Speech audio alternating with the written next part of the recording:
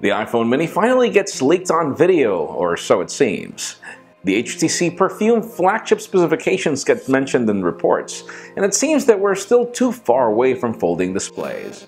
I'm Jaime Rivera, and if you can't wake up early, don't keep trying. Just don't. This is Pocket Now Daily.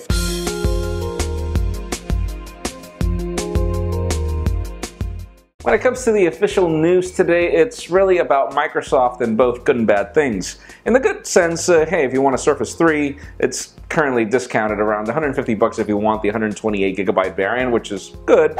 But then again, for those of you using the Surface Pro 4 or Surface Pro 3, there is a recall in power adapters because apparently it is a fire hazard, and there's just so much more to know about how to qualify to get a replacement. Links in the description as Microsoft has already confirmed that they will be recalling them. You know, a really cool thing about starting a new year is analytics. Yeah, I know, I'm kidding. But uh, hey, we get a lot of that right now, particularly because we know exactly what happened in 2015, what to expect for 2016. And just like we heard about uh, smartphone sales for this year, now we hear about what to expect for app downloads, as uh, we've got analytics already confirming that, number one, even though the Google Play Store is selling, or should I say downloading, twice as many apps as iOS, that sort of makes sense because there are a lot more Android phones in the market than iPhones. But then when you start looking at these stats from a money perspective, Apple is actually making twice the money. And uh, we would love to know in the comments down below why you think that is.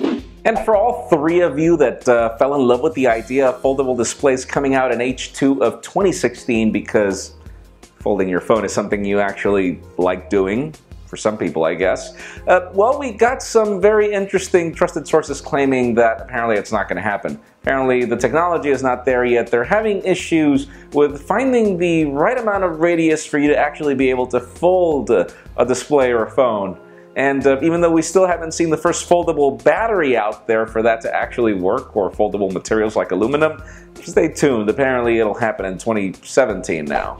Now let's talk about HTC, even though the company has claimed that their whole Vive project is more important than smartphones. We do know that the company wants to make a comeback in smartphones and the HTC codename Perfume is going to be part of it. We have rumors that the phone might not be ready for MWC, which is okay. I mean, hey, as long as they announce something early this year, it'll make sense. But we also hear another thing, which is rather interesting. It seems that we will get two flavors of processors, which would kind of be a first for HTC. Not necessarily, though. We have seen a previous case, but apparently the Snapdragon 820 will be an optional variant in addition to a MediaTek variant. So we kind of know that that MediaTek variant is probably going to be for China. Stay tuned. Hopefully we learn more at MWC, at least some teasers.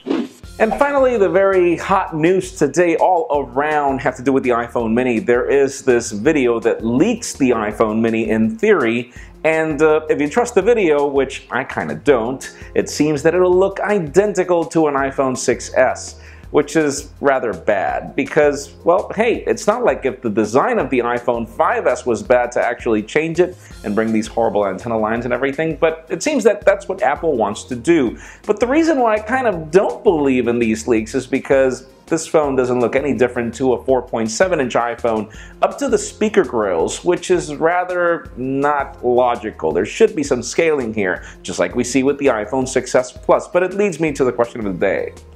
Do you believe in these leaks? And if you do, uh, would you like an iPhone that's smaller and that looks identical to the current models? Because in my case, I don't believe it and no. But leave us a comment down below. Hey, I could be wrong. Friends, you know the drill. If you want to get the news earlier before this video was filmed, make sure you follow us on PocketNow.com and subscribe to our YouTube channel as well. You can follow me on Twitter, Jaime underscore Rivera, on Instagram at Jaime Rivera. You can now also follow us on Vessel at vessel.com slash pocketnow.